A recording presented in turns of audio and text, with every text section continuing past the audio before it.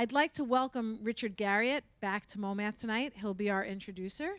He is both a private astronaut and a game designer. So if you have questions for Richard after the talk, I welcome you to stick around. He's a very interesting guy. But with that, let me bring up Richard Garriott. Thank you, Cindy. It's uh, always a great pleasure to be here at uh, MoMath, and you know tonight you all are in for a particularly special treat. Uh, you know, our, our speaker tonight, Andreas Daniel Matt, like myself, has a background in video game development. Uh, you know, my, my first video game played on some very primitive computers, even before personal computers, was a game called Hunt the Wumpus. And uh, I'm curious, to, does anyone in here remember the game Hunt the Wumpus? One, two, three. Okay, that's, by the way, there was zero in the earlier session. So I'm, I'm glad there's three of you who might remember that this game about hunting down the dreaded Wumpus was played in a series of tunnels that were aligned on the edges of a dodecahedron. And uh, of course, the, you know, the connection between math and video games and geometry especially are very deep, as I'm sure all of you all know. But uh, you know, back in the 1990s, when I was kind of halfway through creating a series of games that I'm, I'm best known for called Ultima, Andreas was, uh, uh, was, was, was a gamer of a different sort. He was actually a, a, a champion competitive game player over in Europe, a multi-year champion of playing video games. And while he did feel the calling to get into creating video games, his love of mathematics took over, and he, he uh, kind of made himself uh, his own path, shall we say. And you know, it's interesting that when uh, when I talk to educators about video games, very commonly people come to me and and encourage me to add in edu educational elements into the games that either I'm creating or that our industry should create. And fairly universally, my answer to that is, you know, give up, don't try, uh, because uh, what you'll do is you'll take an already low probability of making a successful game and make it, you know, an impossibility to make a successful game. But Andreas has sort of turned this whole issue upside down he has really you know, created a phenomenal set of, of both entertaining and informative experiences. Even before I heard his earlier talk, I had the chance, uh, you know, as I was preparing for this introduction, to go to his websites and poke around at some of these things that he's created. And it is truly a marvel. Uh, you know, uh, uh I know you're to have a, you're in for an incredible, you know, interactive journey through the many worlds of geometry. You know, like all great gaming experiences, our mathematical journey will include bonus and secret levels, boss fights, shortcuts, and power-ups. Please, everybody, join me in welcoming Andreas Daniel Matt with Super Math Adventureland. Thank you. Um, yeah, thank you, Richard. Thank you, Cindy. I'm very happy to be here. It's, uh, it's beautiful to be in New York. It's very nice to be in this special museum. Um, and we're going to start um, on a place that you all know, uh, a geometric shape which looks like a sphere. It's a bit squeezed, a squeezed sphere. And I'm going to uh, kidnap you to a place um, which is a famous, famous research, research institute situated in the Black Forest in Germany. Um, its initials are MFO, and we're going to start with the first task. Video games are always full of tasks. Uh, who dares to pronounce the name of the institute? so it's, uh, yeah. Oberwolfach, exactly. That's also how all mathematicians would call it. They would skip the Mathematisches Forschungsinstitut. And um, it's a research institute where you have about 2,500 of the best mathematicians meeting every year, um, always for about a week. Some stay a bit longer, and they do, they do pure fundamental, sometimes applied, but mainly uh, pure fundamental research in mathematics. So they fill the blackboards with all types of equations and formulas and ideas and concepts.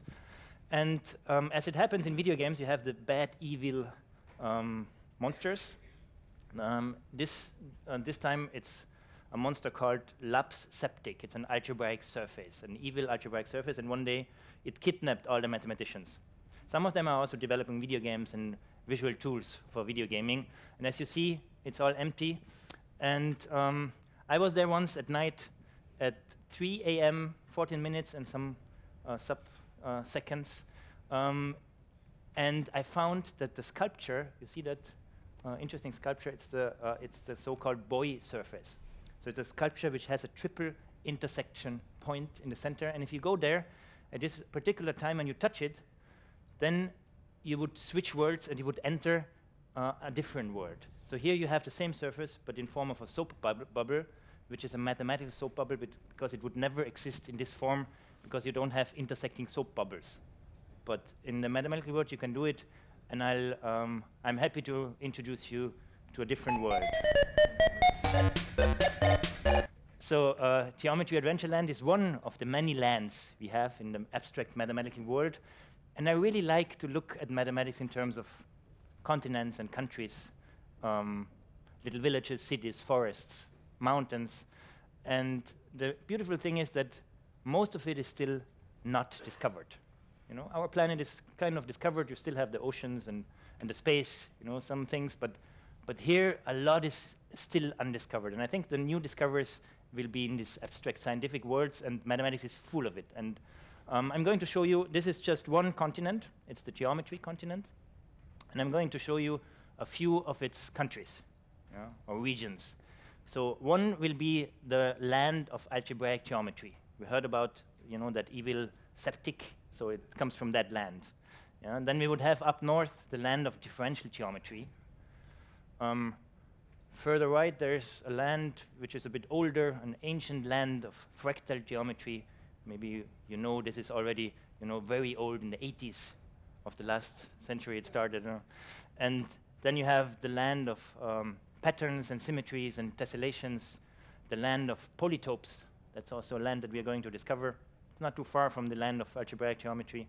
And then there are some new lands coming up. Oh no, there's still an old one, knots, you know, knots. Um, but this one is a very new one. It's called tropical geometry.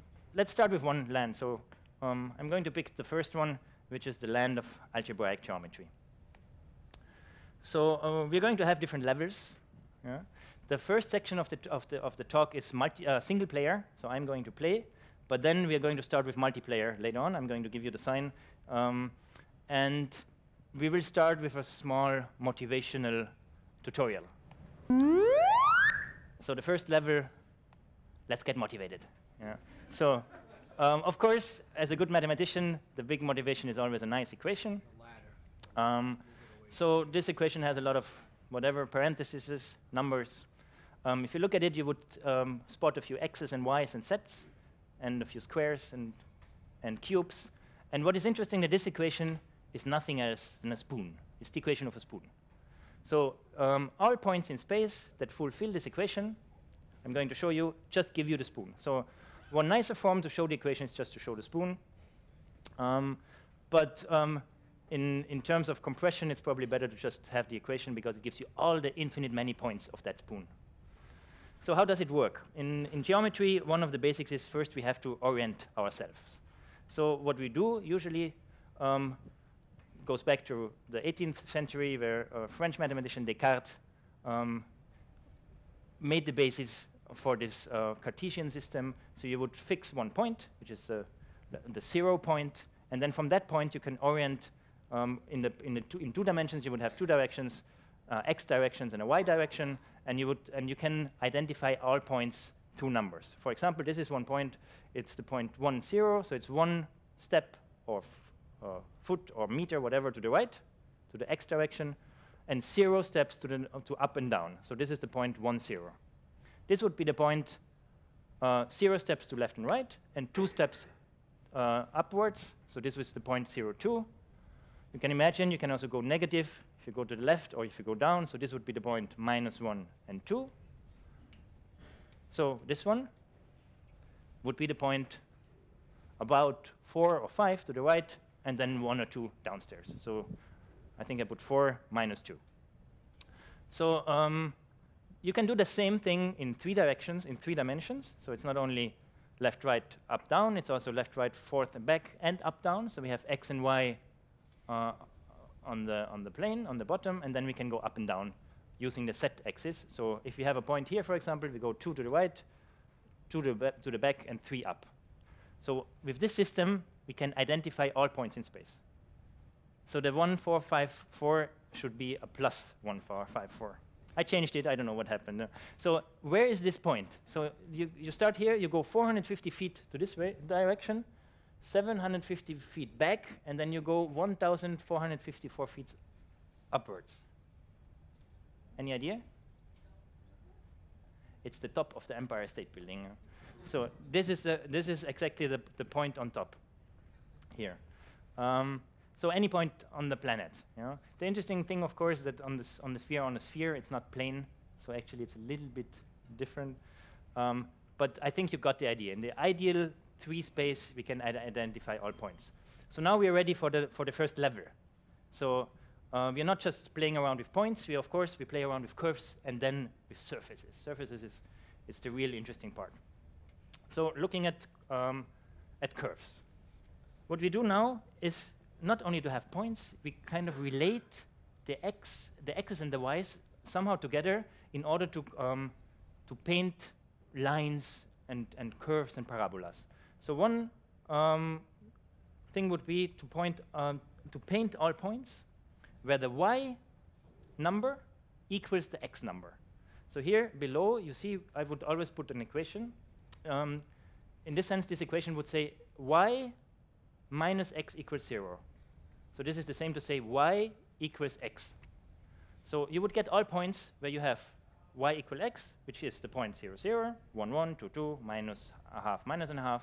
And all these points together would give you a straight line, 45 degrees, um, up to infinity, down to minus infinity. So we have to cut it here somehow, and you would see the line. Now what is interesting, I can just play around with that relation between the x's and the y's. I could say, okay, let's have all y's equal to x squared. I will get this equation. Then I can say, okay, I'll multiply it with a number, a number that I can change here, so a number between 0 and 1, so I can make that parabola squeeze and not so squeeze. I can say, okay, instead of minus, I make it a plus. Okay, it goes downstairs. Um, instead of square, I make it a cube. Okay, it will look like this. Um, I can also multiply another y, for example. I'll get something completely else, and so on. So the idea is to play with equations, to really play with equations. I, I, I have an equation which paints my, my surface or curve. So the next level now is to really jump into the fantasy surfaces. So um, we add, in order to have a surface in space, we have to add a dimension. Here, as you see, we only have y and x, so what we, what we can do is to add uh, um, a set, set uh, coordinate. But before that, I just wanted to show you one equation that you might know. It's x squared plus y squared equals to 1. Do you know that one? That's the circle. Yeah? So that's all points that are on that circle. If I now look at that circle um, in, in three dimensions, so adding a set which is not there, if it's not there, it means it can have any value. So if I turn that circle, it's nothing else than a tube. You see the set value going back and forth, again up to infinity, down to minus infinity, you would have a cylinder or a tube. And of course, I can play with the set.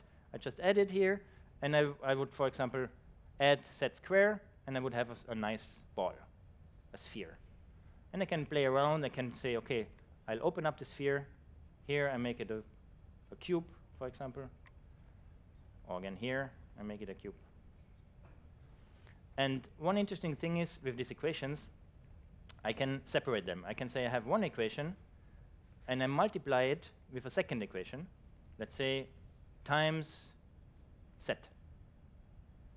So that's instead of planet Earth, we have Saturn. Yeah. And um, the interesting thing is, this is algebra downstairs, which means you have a product, something times something equals to zero. So you know what happens if you multiply two things? So if one of them is zero, everything is zero. And the interesting part here is you multiply in the equation and you would add in the image. Because every image is independently turning the equation zero. So I can, I, can start, I can just multiply here by y. I get another sphere, another plane, sorry. I multiply by x. Here I have to multiply. And I would get another plane. So um, it's very, very interesting what's happening um, when, you, when you multiply and you add in the image. And this is now they equal to zero, but I can also make them not equal to zero, but equal to some small value. So for example, here I have a small value b, which I can change. I can make it bigger and smaller. And they're not independently independent anymore, but they're connected to a small value, so they would kind of melt together or, or kind of pull each other apart. So what is interesting, um, that you can take any equation and you can just play with it. You know, here you have an equation, um, and then you just multiply something and you would look at it and get a nice image. And as you have seen with the spoon, all the points you see here are just the points that fulfill this equation. So I think now we're ready for the first bonus level. Yeah? So um, the bonus levels, they always come, come along with some gadgets. So the, uh, the first bonus level is called the heart bonus. So we, uh, we prepared a lot of postcards that we're going to just uh, give through. Choose the one, one you liked. Um, and of course, we are going to look at the equation of the heart. I don't know if you, if you ever saw, saw it, but um, it's a rather a bit of a longer equation here, not too long. And this is the equation that gives you all the points on that beautiful heart.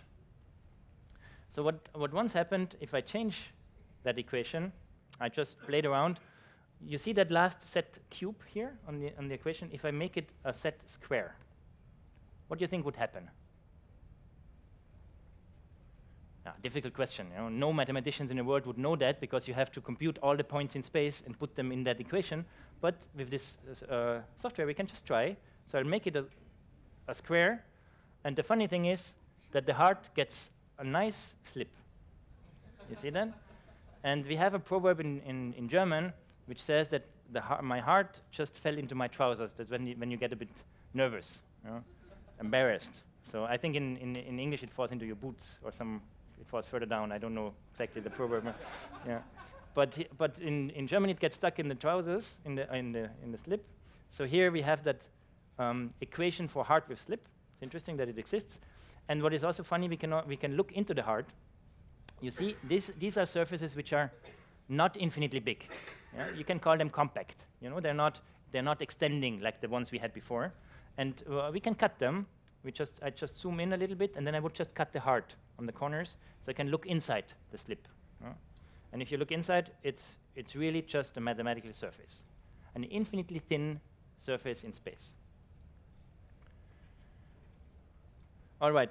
Um, now we have the option to go to the alien versus virus detour to show you some very, very special um, constructions.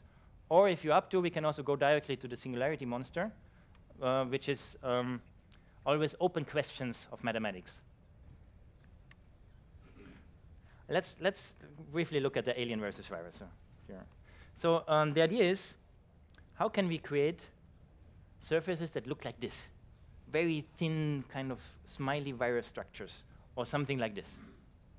So um, it's always difficult to question, um, how can I create an image that looks like this, because I have to work with equations. And there's one, um, one simple trick. If you want to show an intersection curve, yeah, what you can do here, we have two cylinders. If you look at the equation, I mean, you, you see them here, the cylinders, but you see them also in the equation. So this is the first cylinder. So it's x squared plus y squared minus 1. And here you have the other cylinder, x and z. So it's just another direction. You can also, here, if I make it a y instead, then I would just change the direction. Now, um, can you imagine how the intersection curve of these cylinders would look like? The curve where they meet here in the center? You have any idea how it could look like? So we can also try to display it. So what we have to now change the equation in a way that it shows both equations. Yeah? So um, there's one mathematical trick that you can do. You just square the first equation, and then you would square the second equation, and you would add them. I don't know if you remember, but if you square something, it's bigger or equal than zero. It cannot be negative.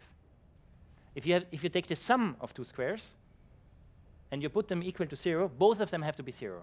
So now what we see now is, the, is both, of, both of them together. And both of them together is just the intersection curve of these two.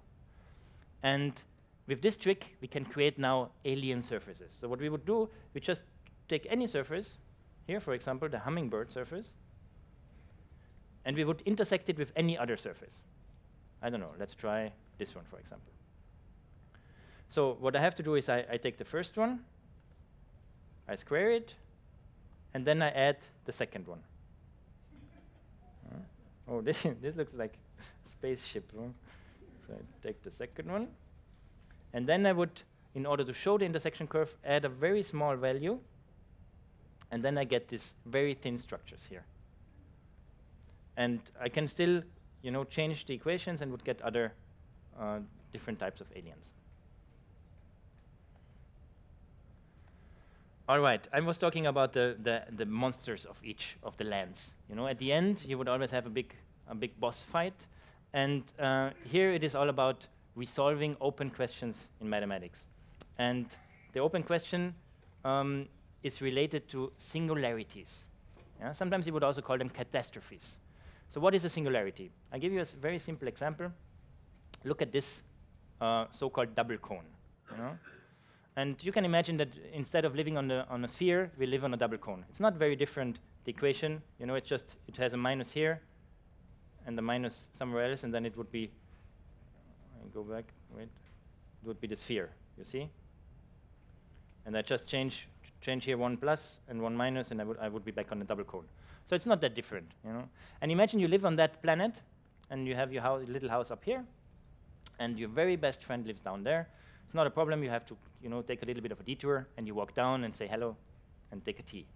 But what happens, you know, if there's a, a little of a wind or something happening on that cosmic equation um, system that changes a parameter of that equation? If you look down here, the a now is put on 0.5. So now I take that a and I put it on, let's say, 0.49. I just changes it a little bit. You would see the planet, the whole geometry, would change drastically around this singularity. And that's exactly what happens with singularities. They're very sensitive towards little changes in the equation. So now, of course, it's easy. I can visit my, my very good friend just uh, going through the hole, which is nice. But imagine the wind comes from the other direction and, and changes it to 0.51, not even 1, just a little bit to the other direction. Now the two worlds are separated, and I would never see my very best friend again, which is not what I want to have. Catastrophe again. So whenever you have something very thin, like a peak or this single point, you would always have problems. And um, actually, this happens a lot, for example, in, in, robotics. If you have robots, robot arms going around surfaces, they would always get stuck in these singular points. So um, what do mathematicians do? Of course, they solve problems. So there's one side of mathematicians, and they try to resolve the singul singularities. And, and actually, it's very interesting. There's a, a proof um, by a Japanese mathematician, Hironaka, um, from the 60s, which is still one of the most, the biggest proofs in this whole area, algebraic geometry, um, which says that in principle you can resolve these singularities. You can find for each of these surfaces, you know, for example, I take this one, the lemon surface. Um, it has two singular points. You can spot them easily, one here, one there. So um, the proof says, given any surface, doesn't matter, this one, um, I can find another one in a higher dimension let's say this is in three dimensions. I can find one in four dimensions, five, six, seven, any, any higher dimension. And, and that higher dimensional surface is completely smooth. There's no singularity. And its projection down to a lower dimension is exactly what, what is my lemon. I give you one example. I have to do it here from the backside. So um, let me see. I'll try to make a, a singularity. You see that one? The peak here on top? That's a peak in two dimensions. If I, if I show you the peak, it's not a peak. It's completely smooth. You see, there's no, there's no corner on this one. It's just how you put the, the curve in three dimensions and how to make it in two dimensions in, in order to have the peak. So you can resolve this one. Yeah? You can go up, and at the end, I do all my calculations here, my robot arm here, there's no problem. But, you know, the proof is very nice. It says there exists one, but the proof doesn't say how to find it. And that's, for example, still a very open question on how to find for each of them um, the smooth surfaces. Now, um, what is interesting that you have the mathematicians who try to resolve the problem, and then you have the other mathematicians to try to better understand the problem. So this is like uh, if I cannot find my enemy, I make my enemy my best friend. So what do they do? They create singularities. So they become evil themselves, and they say, okay, now I'm going to make the worst surfaces of the world. I, I take you know any equation I'll make one which has a lot, a lot of singular points. I was talking about the Labs-Septic, the really bad one, but I'm going to show you one first, which is the Barth sextic. Usually, these equations they have the name of the inventor, of the creator, of the of the mathematician. So here it's it's Wolf Barth, Yeah?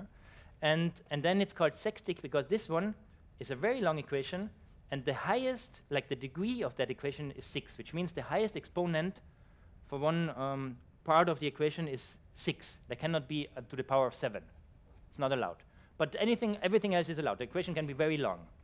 And now the question is, how many singularities can you create with an equation of degree 6, with a sextic? How many? And this, Mr. Barth found that this, this surface here has 65 equations. And it's interesting that he constructed one, and he also made a mathematical proof that says it cannot be more than 65. So this is a world record surface. We call it this way. So there's no, you cannot beat it anymore. But if you go to the so-called septics, so now you allow to the power of 7, degree 7. So we have this one found by Oliver Labs, a German mathematician, and um, this one has 99 singularities, 99 singular points. And there's a mathematical proof that says more than 104 are not possible. So now it becomes very interesting. Either you find a better proof, or if you construct one that has 100 singularities, just by changing here the equation, you know, you can just play around, and you find one that has more singular points, it would immediately become um, a famous mathematician, and the surface would be called after you. Uh, I don't know what, yeah. So um, I can show you here the table. You would uh, the d is always the, the, the degree, like the highest exponent of the equation, and below you see the one that was found already, like here 99, and below is the proof. So you would see until six, you th there is one available with 65, and we know that 65 is the maximum. But here we just don't know anymore, and that's an that's an open question in algebraic geometry. So I think we are ready for a bonus level. Um, bonus level just gives us uh, impressions of very, very nice surfaces. Uh, these are all constructed again um, just through equations. So we can have a cup of coffee, a cup of tea. We can also go to the toilet. Um, very important equation. We would need it every day, uh, that one. Um, beautiful artistic equations. Here we have a butterfly or uh, Buddha. And, and here's one. It's, it's very interesting. There's one uh, hobby mathematician. He found that one claiming that he broke the record of the 99 singularity, um, but at the end, um, he just mis miscalculated. So it was, it was another version of the 99 singularity image. You can also eat singular surfaces. You can also wear them if you want. So there's a fashion designer in Slovenia. He put that on, on, on very nice uh, models, made a whole collection out of, of singular surfaces. All right. I think we are, we are up or we are ready for, for a new continent. And um, as you see here, the, the, the little uh, red star, it's a detour. Um, and the detour goes um, from algebraic geometry now to the world, the country of polytopes on the lower left side. And I'm going to show you how. Um, so if, if you remember, we had the equation of the sphere. And now the question is, um, I don't know if you know what is a polytope, but we're going to see it. But how can I how can I connect algebraic geometry to, to polytopes or to polyhedra? And one thing is, if I just change the equation of the sphere, and instead of two squares, I just make it to the power four. You know, you would see the square would look a little bit more like a cube. So I can make it higher, make it to the power of eight, and it looks even more cubish. So I can even, you know, let's say I make it to the power of 14, and it gets more like a cube. So the higher I go, as long as the, the numbers stay even, I would become more and more like a cube. As long as, as, as soon as I, I, I put an, an, odd number, for example 13, it would immediately break up. And um, why? Maybe you have an explanation for that, we can show you here. Um, that's not very difficult. Uh, it breaks up because if you have an, an, an even number, negative numbers an even exponent, negative numbers would behave the same as positive numbers. So have a kind of closure. You know, minus, minus 2 squared is the same as 2 squared. And um, that's why it, it, looks more round or, or not. Now, uh, polytopes are a different type of mathematics.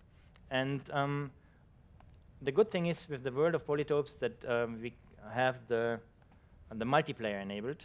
So, um, so now we can play a few of these games all together.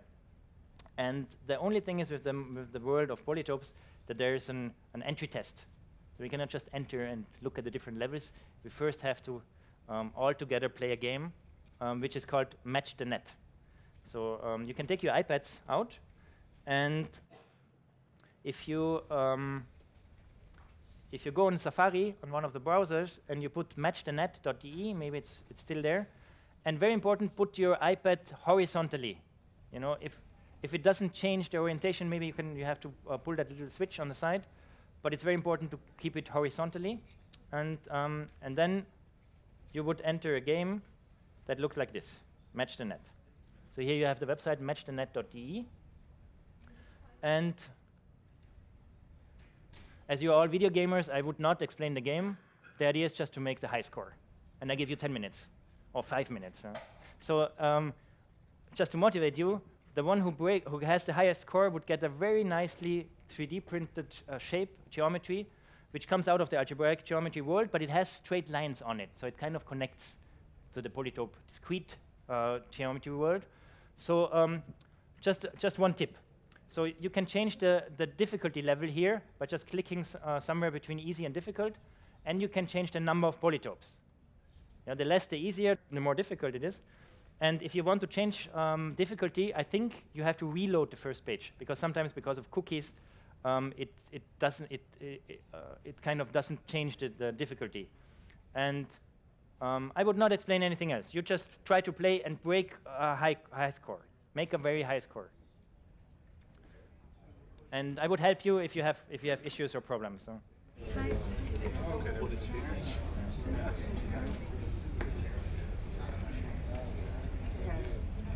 So if you have any, any scores already, just tell us.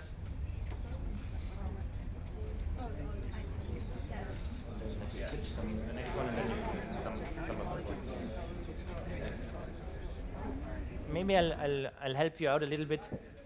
You probably figured it out, but you have to match the planar nets of the polyhedra. You have a, you have a uh, like a, an object on top, and this object would unfold in something below. And now you have to look what is the you know what matches to that one. For example, this this one looks like it would match here.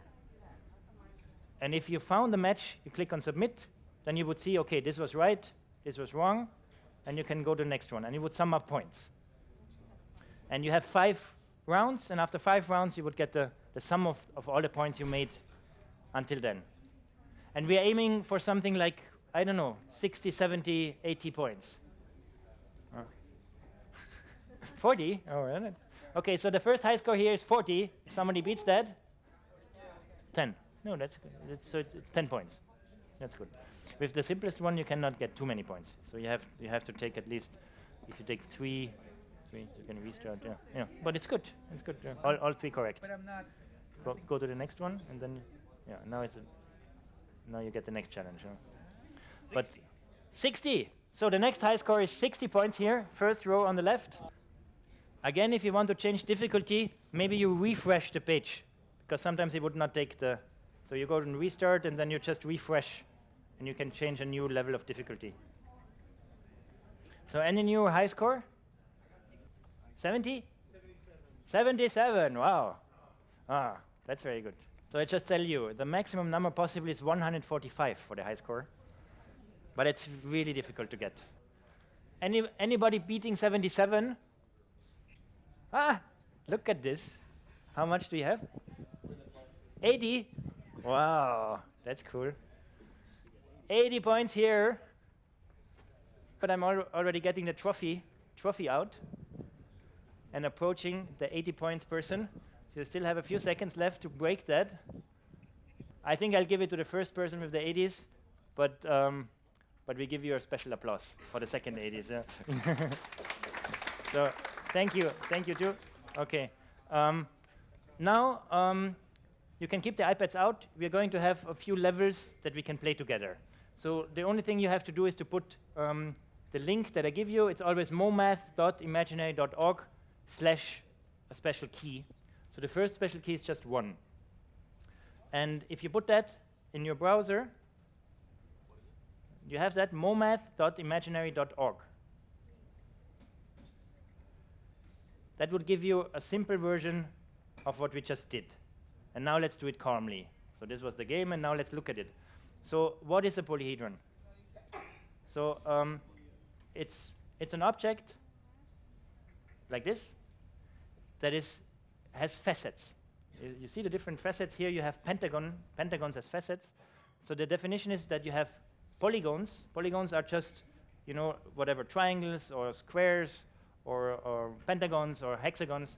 Um, any number of, um, of, uh, of vertices that give you facets, and if you put these facets together, you would get an, uh, an object.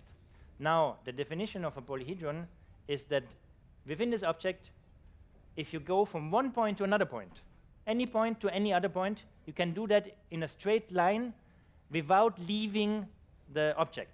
So you can, you can imagine here, I go from this point to another one with a straight line and it works. And the object itself doesn't have any intersections, self-intersections. So there are five, the very famous five Platonic solids that you might, might have heard of. It's these five, and these are the only uh, objects that are um, built with, uh, with facets that are all uh, equi, have the same length, you know, the same, the same type of facets with the same length. So you have here, um, the cube is the most famous one probably, um, so it has six squares that build up that cube. And all the other four um, platonic solids are made uh, out of triangles. All triangles are the same. So you can only build these five. And you have seen the nets. Now what is interesting, coming back to the open questions in question mathematics, it's still not clear for any type of poly, uh, polyhedra, polyhedron, how to get to that net. I mean, you have seen the game. Um, we calculate the nets, but that's still an open question. It's not very, very, very easy to do that. And for many, um, uh, many polyhedra, you would have a lot of different types of nets. For example, the cube, you can imagine, you know, you can put rearrange the net, and you would have 11 different types of nets for the cube. For the tetrahedron, I have my, for the tetrahedron, it's easy. There are only two different type of nets that you can make. But um, for the icosahedron, yeah, like this figure here, right? I'll just this one uh, you can actually have 43,380 different nets that recreate that, that unique uh, object. For more than 43,000 different nets. So of course, it's, it's tricky, you know. And um, if we go to the next uh, to the next level, we are going to have another task too. So um, we go to polyhedra morpher. So instead of one, put into, into your browser seven so it's momath.imaginary.org slash 7. Can you do that? So the next number is 7, and you would get to this program. So momath.imaginary.org slash 7. So what we can do now, we choose one of the five Platonic solids. One, two, three, four, five. For example, here the tetrahedron. And we can apply one of three operations. You can see here you have one operation, maybe the easiest one is to, to cut the corners. Here it says move points on edge, but it's actually just to cut the corners.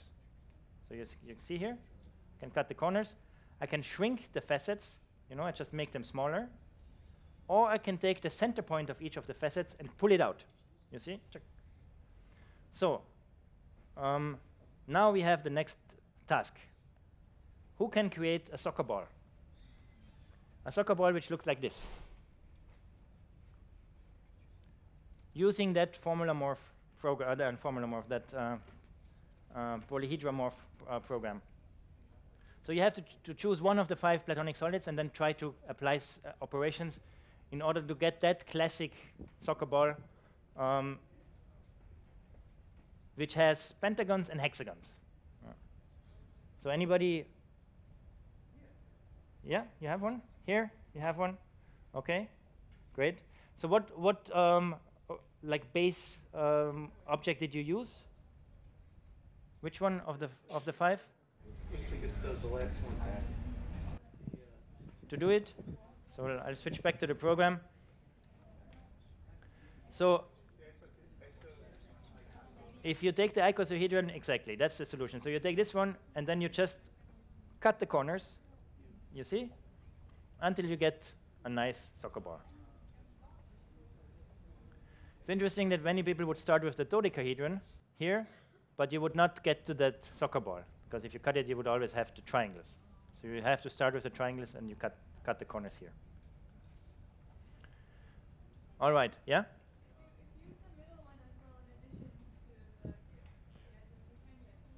With this one?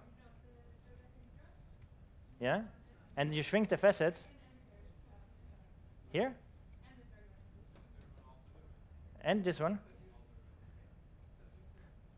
Ah, yeah, okay. Very clever. Of course. very good, very good. But is it the same type of soccer ball? Yeah. Or is it a different one? Let me just check. So this one has five hexagons. And just look at the other one. Yeah. And the pentagon in the center. Perfect. Okay. Um, next level, if you're up to. Um, I just wanted to show you that all these um, uh, polyhedra, they are kind of they're connected. You know, these are the classical ones. You saw the five in the center, the five platonic solids. If you start cutting them, um, you would get the so-called Archimedean solids. So the one we were looking at was the truncated icosahedron, soccer ball. But then you can continue applying operations and you would get the, the, very famous Catalan solids and then you have the Johnson solids and all types of solids. And it's really interesting to study the different relations they have. Some of them are dual to each other, so you can put them um, one into each other. And there are a lot of properties to study. Um, very simple objects, but a lot, a lot to study mathematically. Um, good. If you look at the, at the monster um, of, this, uh, of this level, it's on the far left down side, the 120 cell. I can already tell you that this is a monster that lives in the fourth dimension, not in the third dimension. So um, we're going to um, build up now on, on, on, a few levels which are not multiplayer, but we're going back to the multiplayer um, again. So just intro introducing uh, dimensions. So let me show you this example. How can you imagine um, the fourth dimension? Let's start with the simplest thing, which is just a point. Yeah? The point lives in zero dimension. There's no nowhere to go. It's just one single single point. So what I can do is I switch from zero dimension to one dimension, and I have a line. You know? I can switch to two dimensions. I would have a square. Yeah? Did you see the, the, the, the movement? So I just have the line. I kind of extend the line. I would get a square. Then I take that square and I make a cube. Yeah? Of course, always have in mind that this, what we see here on the screen, is two dimensions, so it's a projection of, this, of the cube. But we can imagine a real cube. So now, what happens if I switch from three to four dimensions? I can do that. I would just do the same. You know, I take the basic uh, structure and I just drag it into one more direction. And what is very interesting, if you observe what happens, that we all know what is a point, what is a line, what is a square, what is a cube, but we don't know what is a hypercube and we don't we don't have a feeling because we don't live in a four-dimensional world. But um, that's the, the beauty um, beauty of mathematics that it it's just a number, you know. It's like dimension n, n in this in this uh, meaning it's four or five or whatever, um, and you would just apply the same kind of definitions to to each of them. If you look at um, at the different objects, you would see that the facets, yeah, they are always one dimension lower. For example, the facet of a square here is a line. If you go to a cube, the facet of a cube is a square. And similarly, the facet of a hypercube, like the four-dimensional cube, is a cube. So here we would have cubes as facets. Now, if you go to the next level, I don't know if somebody of, of you has, has seen the film Flatland or read the book Flatland. So it's a, it's a very interesting story that that um, geometric objects, what the heroes heroes of that film and book, they live in two dimensions. You know, like um, like if you can imagine an ant that cannot look up, up upwards or downwards, it can just you know look left and right and go forth and forth and back. So um, imagine that um, you want to explain this ant who lives in that you know, on that plane in the two dimensions in flatland. Let's say blue, the blue world is flatland, you know, and we are the gods of the third dimension. We want to show the poor uh, two-dimensional flatlanders, the ants living there. We want to show them how does a cube look like. So what we can do, we just take the cube and we send it through their two-dimensional plane. And you see what, what the thing what they see, what they can observe is that square here. Of course, they would look at the square from one side. If the square is transparent, they would look through it. They can walk around it, but they can really perceive that square. You see? So what I can tell them, okay, look, this is a, this is a cube. Just look at it. This is a cube. But what I can do, I can just I can also turn that cube, and I can say, okay, now this is also a cube. Look, it looks like this. Do you get it, little ant? I can also turn it the other way around and say, okay, look, now I turn it again. This is how the cube looks like. You see?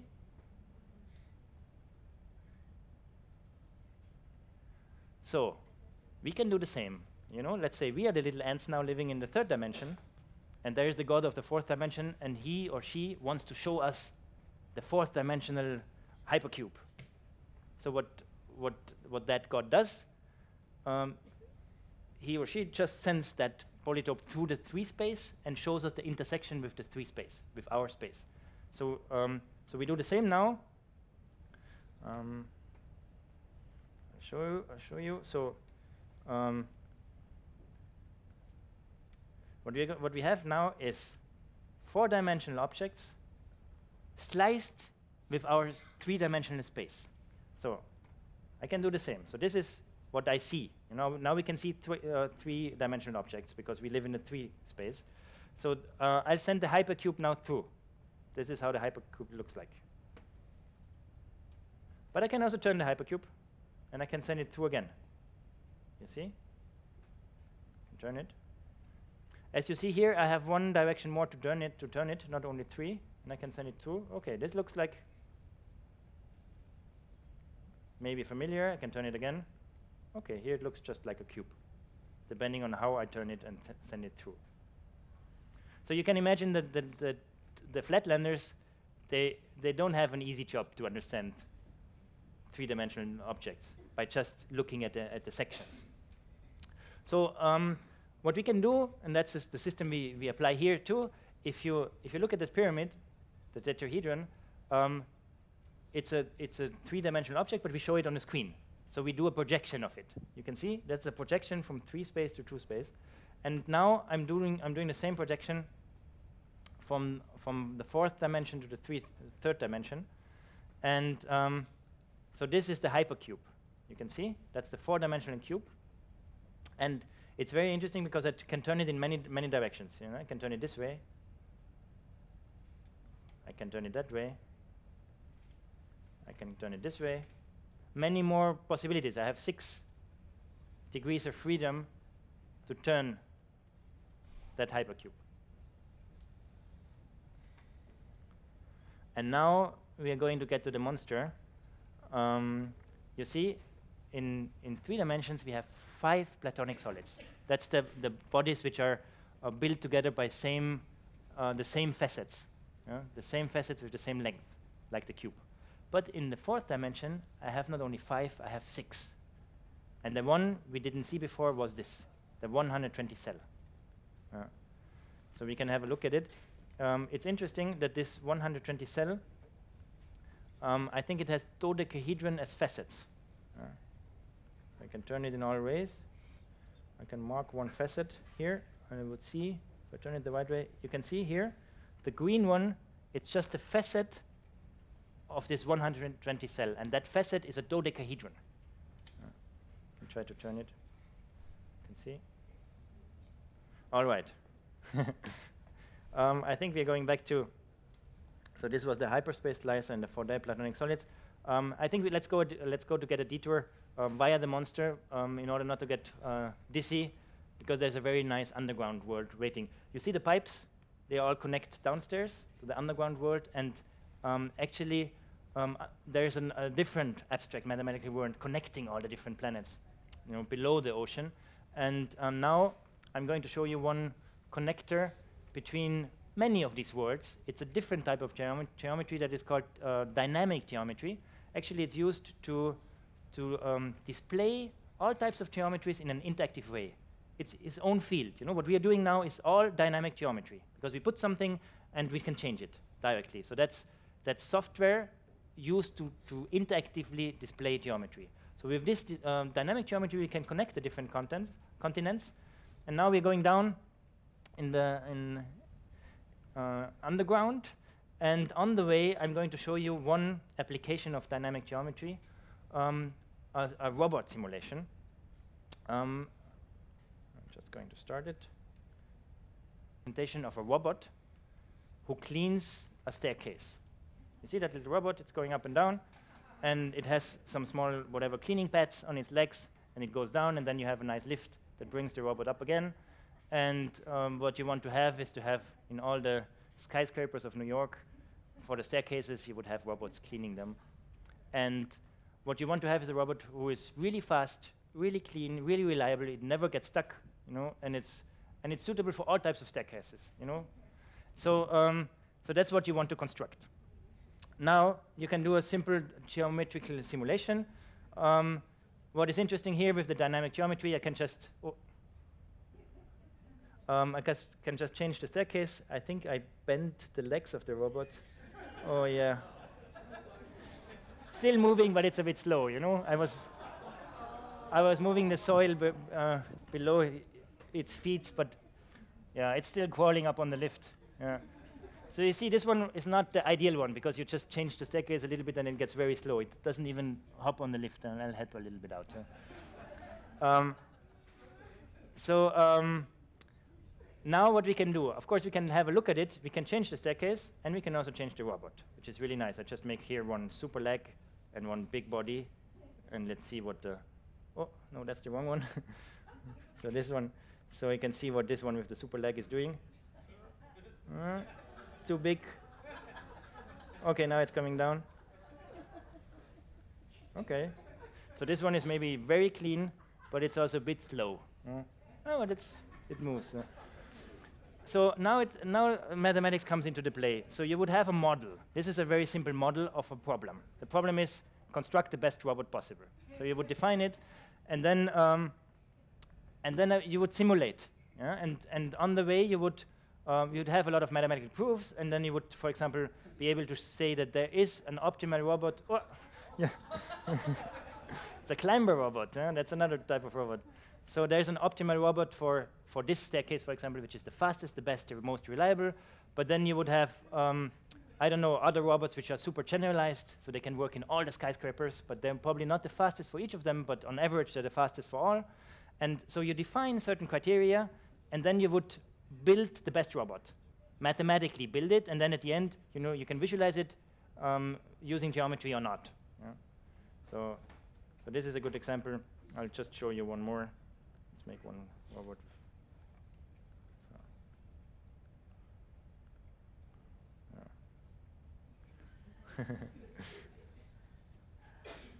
okay, so, um, that's a very interesting field in, in machine learning where you work with robots, where you have algorithms that actually find an optimal strategy for any type of problems. There's a very nice, you know, this, this deep learning algorithms, they can now play all the Atari games and, and, and beat human beings by playing better, and they learn themselves. You know, the only thing is what they get is, you know, just some um, you know, they have the pixels of the, of the game, and then at the end, they get the high score, and they want to maximize the high score, so they can learn on their own. And it's the same algorithm. Oh yeah, gets stuck, so it's also not the best one. All right, so via the robot simulation now, we enter another world, which is the world of fractal geometry. So what is interesting in this world that um, I told you it's, a, it's, it's, it's ancient, you know, from the 80s, and it was the first time that mathematics went into the big public in terms of images. So um, this Mandelbrot set, uh, you probably have seen it already, this fractal image um, was very, very fashionable. You know, it, it, it, it suddenly the beauty of mathematics was discussed, discussed. Lay people could look at mathematics. And, and attached the theory of chaos was also very fashionable. Um, they have things that, you know, just this chaotic behavi behavior, which is not deterministic and, and interesting. So we're going to have, again, multiplayer enabled, a look at a few um, examples of of chaos and of fractal geometry. So I'm going to start with one application. It's the secret code here, number 39. So it's again momath.imaginary.org slash 39. And it's an application called Light Billiard. So you can open it. I'll so it should look like this. So you would you'd have a light beam sent into one direction. You see? And you can change the position of the beam, like of the torchlight, and the position of the direction. And now what happens, it's, um, it gets reflected. Here you have circular mirrors, and it's very simple. Um, entry angle equals exit angle. It's a, the very simple rule. So you put, you, I send it, and then it would just get reflected. Now, what happens if I put that light beam inside a circular mirror? You can create very, very beautiful patterns.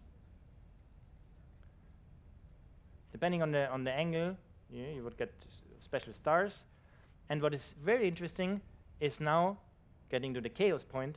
If I just distort it a little bit, this mirror, you would see, ju I just put this circle a little bit inside here, and then you would get immediately a chaotic image. And this is really like changing the, the angle a little bit, you would get a very, very different image. And this is one, one of the definitions um, of, of generating chaotic behavior. You have an iteration. Yeah? So you have a light beam which gets reflected and again produces a light beam that gets reflected and gets reflected and, and so on and so forth. So you iterate something and then once you change a little bit of that whole system, you would get something which you cannot predict. Yeah. You can play around with this. And um, I'll show you another very interesting example, which is also um, easy to rebuild um, as a physical exhibit, as a physical system. It's a so-called double pendulum. So um, if you if you enter momath.imaginary.org slash A2, yeah, as the next example, you would have a simulation of a double pendulum. So how does a double pendulum work? Um, you have a fixed point in the center, you have one long pendulum or one pendulum, and on the, on, the, on the end, you attach another one. So now what happens if you let this loose, um, you would get immediately a, a, chaotic behavior. You cannot really easily predict um, the position of this pendulum in 10 minutes, for example. So you can turn on here the trace of the, of the small pendulum, and what you can do, this is especially uh, important for, for Richard, our space astronaut, you can put gravity on zero. That's extremely important. So you can look at the pendulum. You don't have to fly to space. You can look at the, at the behavior of that pendulum if there's no gravity, or you put gravity the other way around, uh, or on the top below. Um, what you can also do is you change the positions of the pendulum. So I can make one longer than the other and have a look at it, how it's going to behave. Of course, um, this one you can easily construct, and you can look at it physically, you know, how it would look like. And that's, that's it's really amazing. You turn it, and the big task is, can you turn it twice the same way? No, because it's, ve it's, it's very, very sensitive towards the initial positions. I'm going to show you now, just to relax a little bit, uh, another bonus level.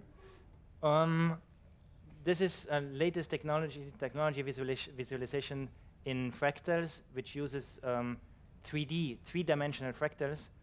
Um, and that's a, it's just a movie with films that I'm going to show you.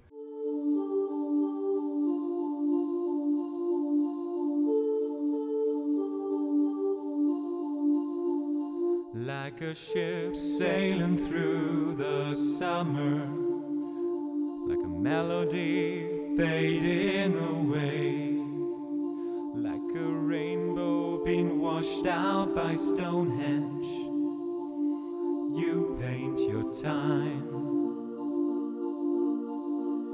You paint your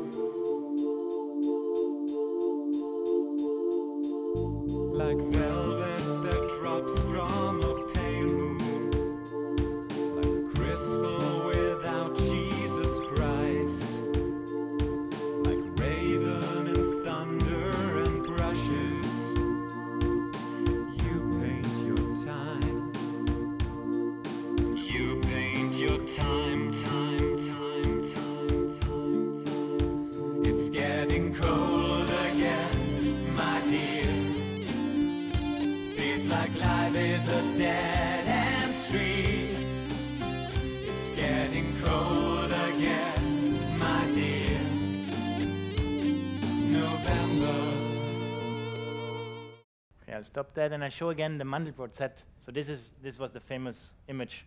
Um, and it, what is interesting, coming back to the uh, dimensions, you know, this, uh, these fractals can have non-integer dimensions. So the dimension can be somewhere between 1 and 2. For example, 1.2 or 1 point something, something, something. That makes it very, really, really interesting. And again, here you have an, an, um, an effect that if you zoom into that Mandelbrot set, you can in interactively, inter uh, iteratively zoom um, to an infinite end. So it would never stop. You would always see details and details. But I, the time is al almost over, and I just, um, as it is for a good computer game, I would always um, look at the credits for this game, and then I have a, a small bonus at the end. So um, what we were looking at was one program, the Surfer program, which is on algebraic surfaces that we developed at Imaginary. The Match the Net, it's, it's online, uh, developed uh, in collaboration with us and, and the Technical University Berlin and the Polymake project, which is a, uh, which is a research library um, for, for uh, polytopes all the other applets, from the robot to the, to the polytopes, they're done by Jürgen Richter-Gebert, a professor in München, in Munich, um, using Cinderella and Cindy.js, Cindy JavaScript. Um, they're all free to use. Um, you see the authors of the images. I want to mention uh, Thorsten Stier, who made that 3D Mandelbrot uh, film. And uh, you can find everything on the imaginary.org website, but we're going to put these special links also online on the MoMath website and also on the, on the, on the on the website of the talk at the Imaginary website. So you can you can recreate like have the links then at home. So um, before ending, I just wanted to um, show you um, an independent video game that uses these fourth dimension slices into three dimensions. Yeah. So I just switch to a small expl explanation where you can see. So this is exactly this what is we did. particularly interesting because of the known connections between high-dimensional space and certain crystal structures. I can move a little bit in the fourth dimension and the scene will look slightly different, and again, slightly different. There are technically an infinite number of unique slices one could take. Here is another more complex example. The surface of this 4D shape called the 120 cell is made out of 120 dodecahedra. In this case, I cut a hole inside each dodecahedron to make them hollow. While you could ignore all this when playing the game, to me it feels even more beautiful when you know more about what is happening. I wanted to share some of the things you may not realize when you finally get to play Miegakure. So the game is, is not out yet. It's called Miyag Mi Miegakure. And it's interesting that it just plays with the slices of the fourth dimension. Um, all right, we can go to questions. I would have one, um, one extra app if you want to play, but I don't know. I think we have a few minutes left for, for questions, so thank you very much.